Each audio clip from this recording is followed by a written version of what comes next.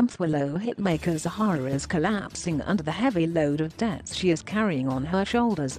Sunday World can exclusively reveal that Zahara failed to oppose an application brought by Nedbank last year to repossess her almost R2 meters gated property in the ritzy suburb of Little Falls, west of Joburg. We can also reveal that Standard Bank wants to repossess Zahara's Range Rover Evoque after she allegedly failed to keep up with her monthly installments. These two cases come in the wake of a week of turmoil for the star who came out to allege that her two former managers, TK Msiza and Skulia TS Records, owe her millions of rands after underpaying her for her record sales and performances, a claim the record label has denied.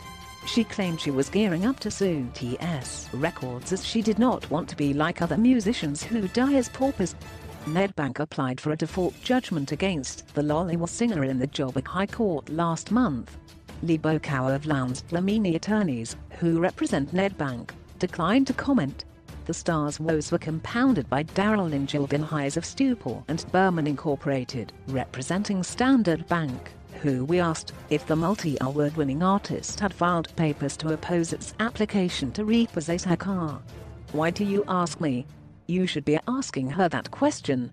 I have got no comment to make, Gildenhuys said.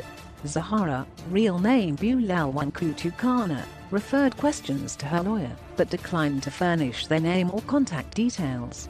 According to papers Sunday World has seen, Zahara received a 1.9 meters mortgage bond from Nedbank to purchase her Little Falls house in 2012.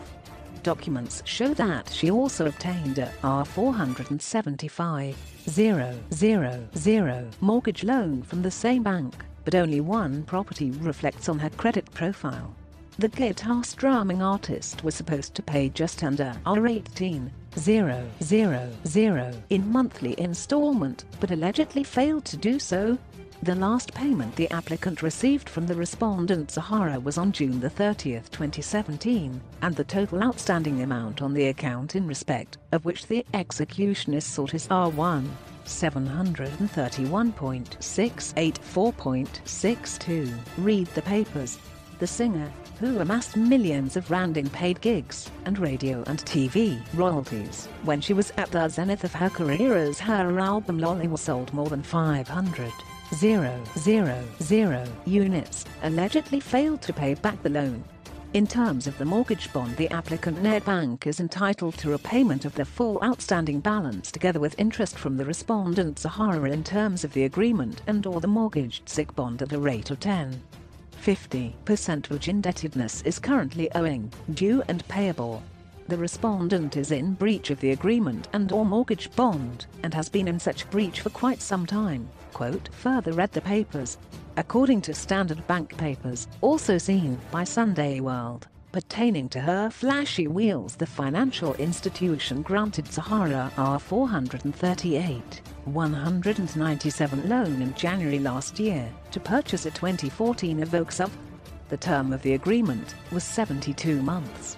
The total cost of the agreement including interest, costs and charges would be the amount of R631,932.48 which would be repaid to the plaintiff Standard Bank by the defendant Zahara by way of an initial deposit of R38 000 and the balance by way of 71 payments of R8,776.84 each at one monthly intervals beginning on 1 March 2018 and one final payment of R8,776.84 payable on 1 February 2024 although Zahara paid the deposit, she allegedly failed to keep up with the monthly installments of the luxury vehicle and was up 33,725.41 in arrears in February this year when the bank wrote a letter of default and a notice. Notwithstanding the default notice, the defendant has failed and or refused and or neglected to remedy her breach of the agreement the bank is asking the court to cancel the contract and to also take back the 2014 Evoque 2. 2 from the Muso. Respondent is in breach of the agreement and slash or mortgage bond and has been for quite some time.